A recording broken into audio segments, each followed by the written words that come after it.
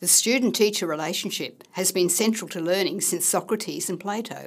These early Greek philosophers sought to challenge their students' thinking on a range of life experiences. What is true happiness? Should people care more about doing the right thing or doing things right?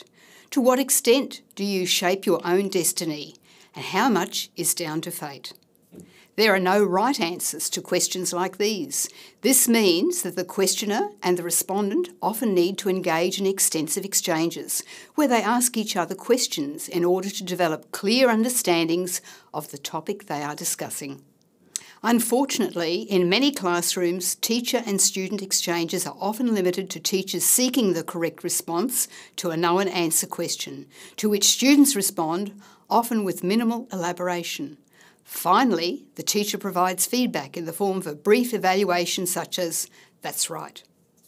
These types of exchanges are commonly referred to as IRE. This very common form of interaction tends to be used in classrooms where the teacher controls the channels of communication while the students remain as passive recipients of the information transmitted. In recent times, many teachers have shifted away from this model in response to research on student centred classrooms. The benefits students derive from being actively involved in their own learning, where they learn to ask questions, challenge ideas, and make suggestions in an environment that is supportive of these endeavours, has been extensively researched and is very well documented. Philosophy for Children is an example of an approach that challenges and disrupts traditional classroom talk dynamics. P4C has been employed with great success at a number of schools and across a variety of age groups.